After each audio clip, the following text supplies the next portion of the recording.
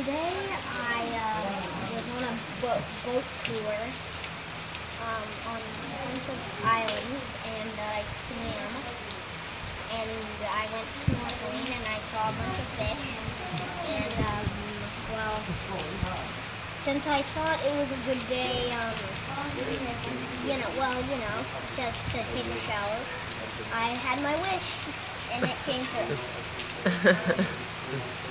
yeah. yeah. And I hope you're having a great day. Um, and uh, yeah.